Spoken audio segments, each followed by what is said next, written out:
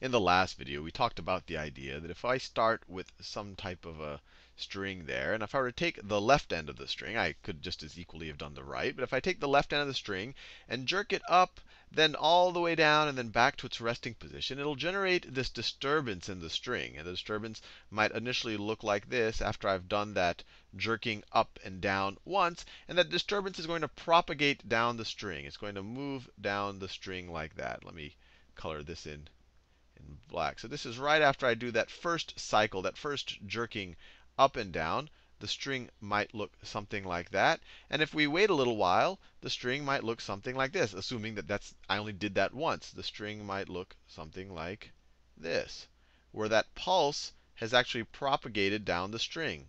That pulse has propagated down the string. And in the last video, we said, hey, this disturbance that's propagating down the string or propagating down this medium, although it doesn't necessarily have to have a medium, we call this we call this a wave. And in particular, this wave right here, this is a pulse. This is a pulse wave, because we only have essentially one perturbation of the string. Now, if I kept doing that, if I kept going up and down and up and down, essentially if I periodically did it at regular intervals, then my string would look something like this. It would look something like this. It would look something, doing my best to draw it neatly. It might look something like this, where once again the perturbations are going to, or the disturbances are going to move to the right.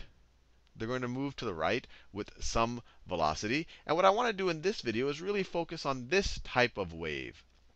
This type of wave right here, which you can imagine, since I'm periodically uh, moving this left side up and down, up and down, and creating these periodic movements in the wave, we call this a periodic wave. This is a periodic, periodic wave. The motion is repeated over and over again. So what I want to talk about is some of the properties of a periodic wave.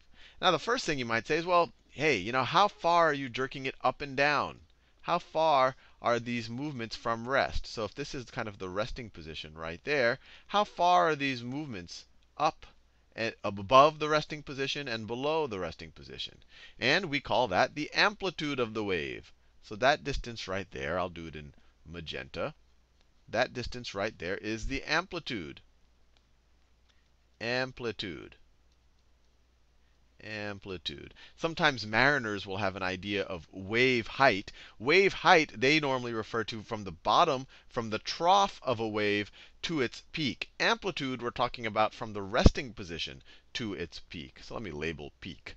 I think you know what peak means. Peak is the highest point on the wave. That's the peak, and that's the trough if you're in a fishing boat and you wanted to see how big a wave is, you'd probably care about the wave height, not so much the you you know if your boat's sitting down here, you actually care about this whole distance. But anyway, we won't talk too much about that. So that's kind of the first interesting idea behind a wave is gee, and you know, not all waves are being generated by Sal jiggling a string on the left-hand side, but I think you get the idea that these waves can represent many different these this graph can represent many different types of waveforms, and this essentially displacement from the resting position, or from the zero position, that is your amplitude.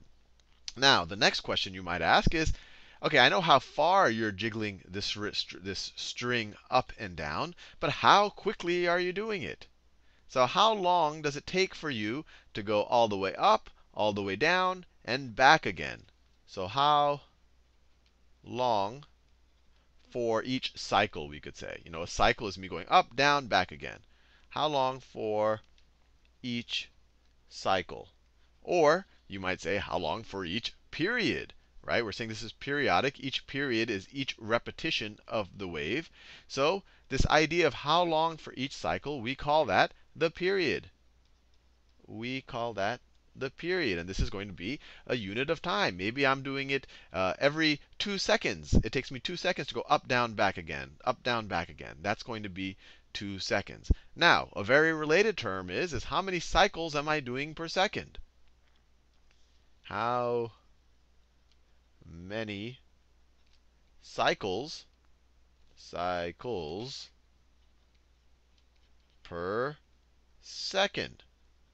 So notice, this was how long or you could say how many seconds for each cycle. We could even write that, assuming we're dealing with seconds. How many seconds for each cycle? So for example, this, you know, a period, it might look like something like 5 seconds per cycle.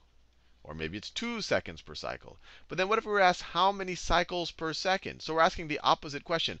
It, not how long, how many seconds does it take for me to go up, down, and back again. We're saying in each second, how many times am I going up, down, back again? So how many cycles per second? That's the inverse of period. So period, the notation is normally a big capital T for period. This is frequency. This is frequency frequency.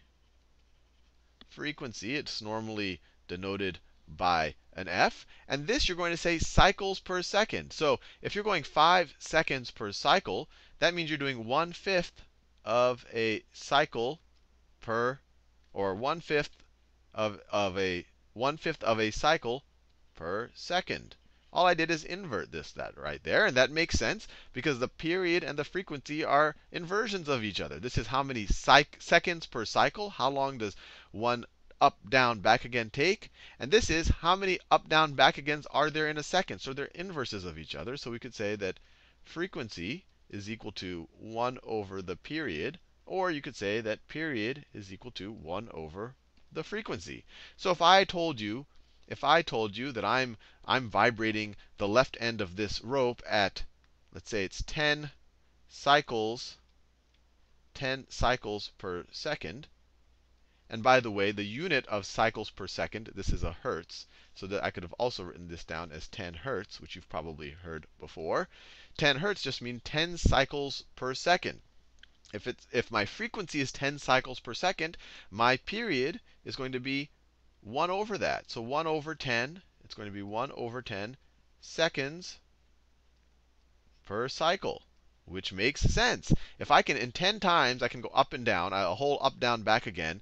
If I can do that 10 times in a second, it's going to take me 1 tenth of a second to do it each time. Now, another question we might ask ourselves is, how quickly is this wave moving, in this case to the right, since I'm jiggling the left end of the string? How quickly is it moving to the right? So the velocity. So to do that, we need to figure out, well, how far did the wave go after one cycle, or after one period? So you know, after I jiggle this once, how far did the wave go? Right? What is this distance from this resting point to this resting point there? And we call that a wavelength. That is a wavelength. And there's a lot of different ways you can define a wavelength. You could view a wavelength as how far the initial pulse went after completing exactly one cycle. Or you could view it as the distance from one peak to another peak. That is also going to be the wavelength. Or you could view it as a distance from one trough to the other trough, that's also the wavelength. Or in general, you can view the, the, wavelength as one exactly equal point on the wave, so exact, you know, from that distance to that distance. That is also that is also one wavelength, where you're completing between that point and that point, you're completing one entire cycle to get exactly back to that same point. And when I say exactly back to that same point, this point doesn't count. Because this point, although we're in the same position, we're now going down. We want to go to the point where we're in the same position. And notice over here we're going up. We want to be going up again. So this isn't this distance is not one wavelength. To go one wavelength, we have to go back to the same position, and we're moving in the same direction. So this is also one wavelength.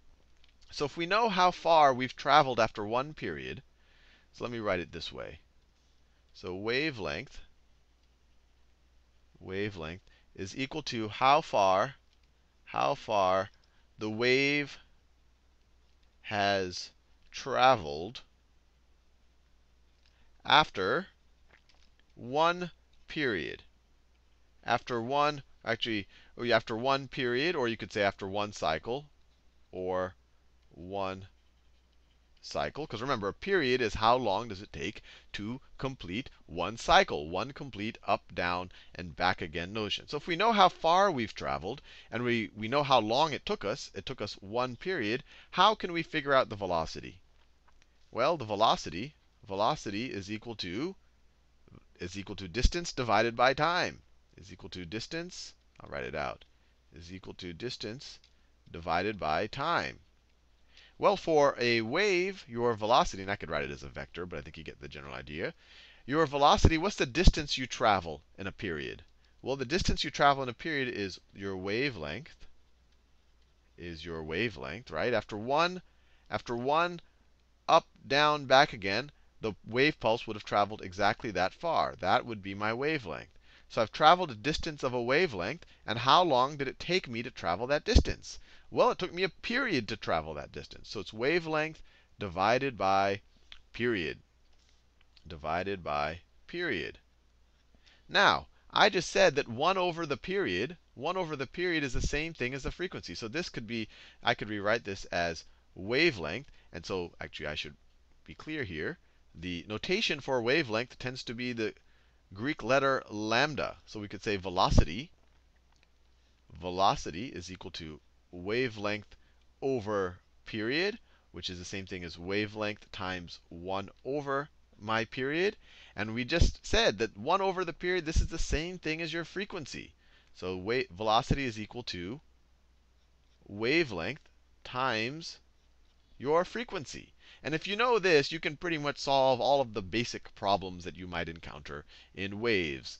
So for example, if someone tells you that I have a velocity a velocity of, I don't know, 100 meters per second to the right.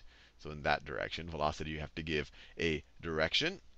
And they were to, they were to tell you that my frequency, my frequency is equal to, I don't know, let's say there, my frequency is 20 cycles per second, which is the same thing as 20 hertz. So literally, if you were if you were only to see this, if you had a little window where you're only able to observe this part of your wave, you would only observe that part of my string. If we're talking about 20 hertz, then in one second, you would see this go up and down 20 times. 1, 2, 3, 4, 5, 6, 7, 8, 9, 10, 11, 12, 13, 14, 15, 16, 19, 20. That would happen in one, that in exactly one second, you would see this go up and down 20 times. That's what we mean by the frequency being 20 hertz, or 20 cycles per second.